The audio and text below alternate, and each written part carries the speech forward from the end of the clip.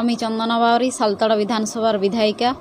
আগামীকাল আমাদের স্বামী স্ত্রীর মধ্যে যে পারিবারিক সমস্যা নিয়ে আমি থানায় গিয়েছিলাম, তা আজকে আজকে তার সমস্যাটা মিটিয়ে বাড়ি ফিরলাম।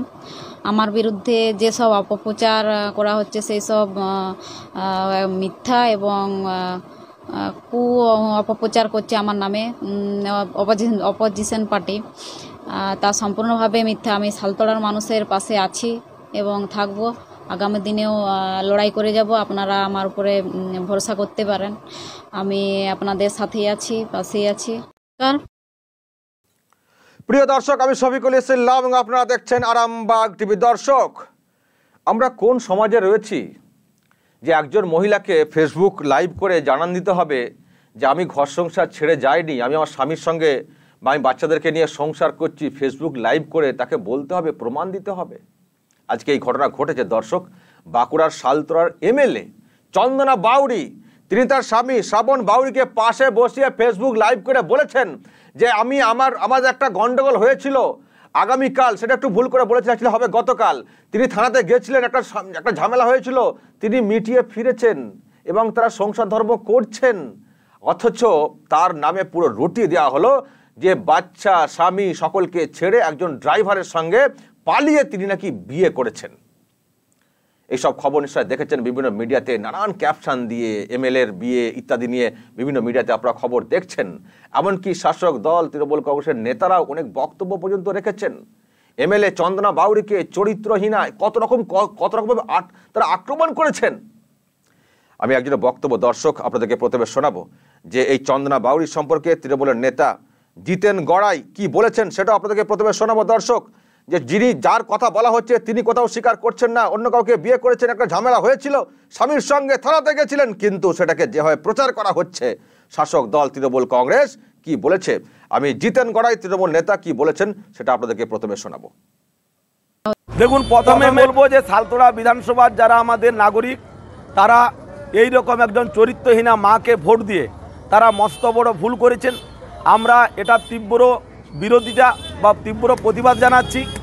একজন মহিলা, তার তিন তিনটে বাচ্চা আছে। তো সেই বাচ্চা নিয়ে কীভাবে সে আবার দ্বিতীয়বার বিবাহ বন্ধনে আবদ্ধ হয়, এটা একটা নক্কারজনক ঘটনা এবং ভারতীয় জনতা পার্টির আমরা সর্বত্রই দেখছি। আজকে সেখানে তাদের নেতা, নেত্রীরা এইরকম ঘটনাতে তারা যুক্ত রয়েছে। একজন মহিলা যিনি নিজের স্বার্থটাকে বড় করে দেখছেন, তিনি আর এলাকার মানুষের জন্য কি কাজ করবেন? এটা তো এলাকার মানুষের কাছে আজকে পরিষ্কার হলো। বিগত দিনেও সমস্ত মিডিয়া ফেসবুক বিভিন্ন সোশ্যাল মিডিয়ায় উনি নিজেকে একজন সৎ মহিলা, একজন এলাকার কাজ করার জন্য বড় বড় কথা উনি মিডিয়াতে সামনে বলেছিলেন। আজকে সালতোলা মানুষের কাছে পরিষ্কার যে উনি একজন চরিত্রহীন মহিলা এবং নিজের স্বার্থ ছাড়া কিছু বুঝেন না। দেখুন, প্রথমে একজন চরিত্রহীন মহিলা বলে দিচ্ছেন, একজন নেতা বলে দিচ্ছেন, একজনের সম্পর্কে, এমএলএ সম্পর্কে একজন চরিত্রহীন, কিসের ভিত্তিতে বলছেন, কি প্রমাণে বলছেন?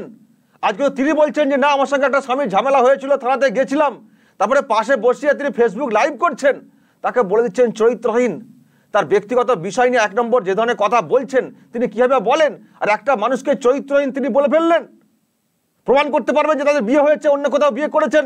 তার স্বামীকে, সন্তানদেরকে ছেড়ে দিয়ে গিয়ে বিয়ে করেছেন, প্রমাণ করতে পারবেন? তৃণমূলের নেতা জিতেন গড়াই পরিষ্কার বলছেন, চরিত্রহীন ক্যারেক্টারলেস এরকম কথাগুলো একজন এমএলএ সম্পর্কে মহিলা সম্পর্কে বলে দিচ্ছেন। কোনো মহিলা সম্পর্কে এই ধরনের কেউ কখনো মন্তব্য করতে পারেন? তার তো একটা মানে সম্মান রয়েছে। এভাবে বলতে পারে আর মিডিয়ার সামনে কথা বলছেন। আবার বলছেন কি, না, যে দল ভারতীয় জনতা পার্টি সেখানে সব এরকমই সব যুক্ত মানে এরকমই সব কারবার। স্বামীকে, বাচ্চাদেরকে ছেড়ে দিয়ে অন্য জায়গায় বিয়ে করেন। এখন একটা বলার চেষ্টা করলেন শাসক দলের এই নেতা জিতেন গড়ায়। আমি শুধু তাকে একটু স্মরণ করাবো। আপনাদের সে স্মরণে আছে দর্শক, যে যার সম্পর্কে উনি কথাগুলো বলছেন, তিনি তো এখনও বলছেন না যে আমি স্বামীর সঙ্গে থাকছি না, অন্য কাউকে বিয়ে করছি বা অন্য কারোর সঙ্গে থাকছি। তিনি তো কোথাও স্বীকার করেননি। আজ পর্যন্ত কোনো মিডিয়াতে আমরা এরকম স্বীকার স্বীকারোক্তি দেখিনি এবং ফেসবুক লাইভেও যেটা বলেছেন সেটা আপনাকে দেখালাম। কিন্তু তৃণমূল কংগ্রেসের তো এরকমও রয়েছেন, নেত্রী রয়েছেন, আনুষ্ঠানিকভাবে বিরাট জাঁকজমক ধুমধাম করে বিয়ে করেছিলেন। পরে রিসেপশন হয়েছিল, সেখানের অনুষ্ঠানে মানে আমন্ত্রণ পেয়ে রাজ্যের মুখ্যমন্ত্রী মমতা বন্দ্যোপাধ্যায় গিয়েছিলেন, খানাপিনা করেছিলেন, কত আশীর্বাদও নিশ্চয় দিয়ে এসছিলেন। পরবর্তীকালে সেই নেত্রী বলেছেন, আমাদের তো সেটা বিয়ে বিয়ে ছিল না। সেটা তো বিয়ে বিয়ে ছিল না, যেন বিয়ে বিয়ে খেলা ছিল। সেই দল, তৃণমূল কংগ্রেস, সেই দলের নেতা জিতেন গড়াই, এমন একজনের সম্পর্কে চরিত্রহীন ইত্যাদি বলে আক্রমণ করছেন, যার কোনো প্রমাণ নেই যে তিনি অন্য কাউকে বিয়ে করেছেন। এবং এইভাবে তিনি এখন চরিত্রহীন এবং বলছেন বিজেপিতে নাকি এরকম ব্যাপার, বিজেপিতে এরকম সব যুক্ত। আর তৃণমূল কংগ্রেসের বিরুদ্ধে এই ধরনের অভিযোগ মানে এই তৃণমূল কংগ্রেসের অন্দরে যারা থাকেন, তাদের নেতাদের বিরুদ্ধে, এই ধরনের নেত্রীদের বিরুদ্ধে এই ধরনের অভিযোগ তো কত উঠেছে। এবং টাটকা যেটা আমি বলছিলাম ওই রকম অত জাঁকজমভাবে বিয়ে করে বলছে না, ওটা আমাদের বিয়েই ছিল না, বিয়ে হয়নি। তারপরে তো আরও কত কি হয়েছে সেগুলো আমি আমি এখন নাই বললাম। দর্শক, কি করে যে এইসব নেতারা, নেতা হন অ্যাকচুয়ালি নেতা হতে গেলে কতগুলো বৈশিষ্ট্য থাকার কথা। আসলে এখন নেতার নেতার ডেফিনেশনটাই তো পাল্টে গেছে। এখন তো আগে নেতা মানে নেতা, নেতাজি। সেই জায়গা থেকে নেতাদের, সেই মানে এখন সবাই নিজেকে নেতা বলেন। সেই নেতাদের কি চরিত্র, কি কাকে কীভাবে কথা বলতে হয়, কাক- মানে মানে কতটা কোথায় কি সৌজন্য দেখাতে হয়, এ তো কিছুই নেই। তা না হলে ওরকম করে বলে দেন একজন মহিলা সম্পর্কে, চরিত্রহীন। দর্শক, আমি আজকে এটা নিয়ে আরও অনেক জলগোলা হয়েছে, একেবারে থানাতে যাওয়া থেকে শুরু করে আমি আপনাদেরকে আরেক আরও খানিকটা ভিডিও আপনাদেরকে দেখাবো পরপর, যে আজকে থানাতে যে বিষয়টা তাদের যে একটা সমস্যা হয়েছিল স্বামী স্ত্রীর সমস্যা হতেই পারে, এবং সেটা নিয়ে কতটা জলঘোলা হয়েছে। আমি সেটা আপনাদেরকে পরপর আরও খানিকটা দেখাবো।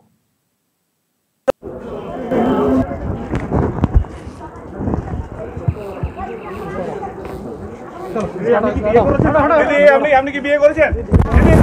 দিদি দিদি, আবার নতুন করে কি বিবাহ বন্ধনে?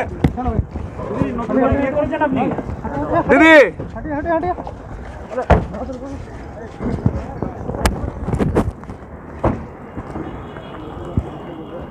একটা কৌতূহল তৈরি হয়েছে। কি বলবেন এই বিষয়ে? দেখুন এটা আমাদের পারিবারিক সমস্যা, যার জন্য আমি রেগে থানাতে গিয়েছিলাম এবং আমাদের দু স্বামী স্ত্রীকে সমস্যা সমাধান করে ফিরে আজকে আমরা ফিরে এসেছি। এটা একটা অপোজিশন পার্টি কুসার ওঠাচ্ছে। আমি শুনেছি যে, উল্টোপাল্টা বলা হচ্ছে আমার নামে। এর আগেও অনেক জায়গাতেই বলা হয়েছে এবং আমার নামে পোস্টারও টাঙানো হয়েছিল এই আমাদের যে ডিবিসির যে পাঁচিটা আছে, সেখানেও লেখা হয়েছিল নাকি চন্দনা বাহারি নিখোঁজ আছে। তো এইসব কুসাতে কান দেওয়ার মতন সময় আমার নেই। কেন আমার দুজনের স্বামী স্ত্রী একটা ঝামেলা হয়েছিল। সেই ঝামেলাতে কেস করা হয়েছিল। যে কেস করার পর ওখানে থানাতে ছিল এবং সিআরপি তিনজনও ছিল ওইখানে, থানার মধ্যেই ছিল। ওই আর যে তৃণমূল পার্টি এখন বা অন্য পার্টিরা যারা একটা ফ্যাক নিউজ আরম্ভ করেছে, ওইটা সম্পূর্ণটা মিথ্যা। ইয়ার দুর্লভপুরে যে তাপবিদ্যুৎ কারখানা, ও প্রাচীরটা পুরোটাই ঘিরে রাখিছিল যে চন্দনা বাউরি নিখোঁজ আর আমি প্রতিটা গ্রামে গ্রামে যাই প্রচার করে বলেছি এবং মানুষের পাশে কার কি অসুবিধা তিরপল যা কিছু দেওয়ার জামা কাপড় বিলি করে বলেছি। এবং এখনও করে বলেছি তারপরেও ওরা একটা এত কাজ করার পরেও মানে যে হাইলাইট তার একটা কিছু? ছবি দেখুন ওই ছবি তো এখানে অনেক রকম বানানো যায়। ওই ছবি তো দেখে আমাদের কান দিয়ে লাভ কিছু নেই। কেন এবং ভোটের প্রচারের সময় ধরো কেউ কোন মেলা ঘুরে বেড়াইছে ও তো ছবি থাকতেই পারে। পারিবারিক হ্যাঁ পারিবারিক ঝামেলার জন্য এটা একটা নিয়ে দর্শক আরও বক্তব্য শোনালাম আপনাদেরকে। আসলে একটা ছবি সেখানে একজন ড্রাইভার তার সঙ্গে এই চন্দনা বাউরির ছবি ছিল এবং ভোটের আগেও প্রচারে তারা ছিলেন কখনকার একটা ছবি সেটাকে নিয়ে একেবারে বলা যায় কার্যত ভাইরাল করা। এবং সেই তার আবার তার, তিনিও কিন্তু বিবাহিত। তার আবার স্ত্রী তাকে দিয়েও আমরা দেখছি মিডিয়াতে বক্তব্য দেওয়া হয়েছে। আসলে তাকেও ফোন করা হয়েছিল। তিনিও খানিকটা চমকে গেছেন যে হ্যাঁ পারিবারিক একটা সম্পর্ক রয়েছে আমাদের সঙ্গে তাদের, কিন্তু এরকম কিছু একটা হবে তিনি তো সেটা বিশ্বাস করতে পারছিলেন না। আমি তাদের বক- তার বক্তব্য কিন্তু আপনাদেরকে আমি আর শোনালাম দর্শক। কারণ যাদেরকে পুরো বিষয়টা নিজেরাই অস্বীকার করছেন, চন্দনা বাউরি যখন নিজে অস্বীকার করছেন, কেন আবার তার যার যার- যার কথার সঙ্গে বলা হচ্ছে তার আবার স্ত্রীকে কেন আমি আপনাদেরকে দেখাবো? তারা তো একটা প্রেস্টিজ রয়েছে মানে সমাজে। কেন তাকে নিয়ে আমরা আবার দেখাবো? আমি সেই জন্য তার বক্তব্য আপনাদেরকে শোনালাম না, দর্শক। যখন চন্দনা বাউরি নিজেই অস্বীকার করছেন যে নিজেদের মধ্যে একটা সমস্যা তৈরি হয়েছিল আমরা থানাতে গেছিলাম বিষয়টা মিটে গেছে আমরা চলে এসেছি অথচ আমাদের নামে এইসব কথা বলা হচ্ছে। এবং শুধু এটা নয় এর আগেও অনেকবার তার নামে কুচরা আড়ানো হয়েছিল নিখোঁজ বলে দেওয়া হয়েছিল পোস্টারিং করে। সুতরাং এর পেছনে যে একটা কোথাও রাজনৈতিক চক্রান্ত কাজ করছে, সেটা কিন্তু তারাও যেমন বলছেন এবং রাজনৈতিক মহলে অনেক কথা বলছেন। কিন্তু অদ্ভুত বিষয়, দর্শক, যেখানে না চন্দনা বাউরি না যার সঙ্গে পালিয়ে গেছে বলা হচ্ছে, না না তিনি, কেউই কিন্তু কোথাও স্বীকার করেননি। বা তার, আপনার পরিষ্কার তার স্বামীর কথা শুনলেন, তিনিও কোথাও স্বীকার করেননি যে পালিয়ে গিয়ে বিয়ে করেছেন, আমাদেরকে ছেড়ে গিয়ে। কোথাও এরকম স্বীকার নেই, স্বীকারোক্তি নেই, কোথাও কোনো বক্তব্য নেই। একটা ঝামেলা হয়েছিল এটা তাদের বক্তব্য, কিন্তু এটাকে এত খবর হচ্ছে ওনাকে বলছে মুচমুচে খবর হচ্ছে বিভিন্ন মিডিয়াতে, যেন একেবারে তোলপাড় তৈরি হয়ে গেছে মিডিয়াতে। কিন্তু আসল বিষয় হতো, বিষয় কিন্তু জিরো এবং পরিষ্কার দেখতে পাচ্ছেন চন্দনা বাউরি শ্রাবণ বাউরি একসঙ্গে বসে ফেসবুক লাইভ করছে। কিন্তু প্রশ্ন, দর্শক, এইভাবে একজন মহিলাকে সমাজের কাছে উত্তর দিতে হবে যে, না, আমি ঘর সংসার করছি, আমি ছেড়ে যাইনি আমার স্বামীকে, এইভাবে উত্তর দিতে হবে? কেন এরকম পরিস্থিতি তৈরি হবে আমাদের সমাজে? দর্শক, কী বলবেন? নিশ্চয়ই কমেন্ট করবেন কমেন্ট বক্সে নজর রাখবেন আরামবাগ টিভিতে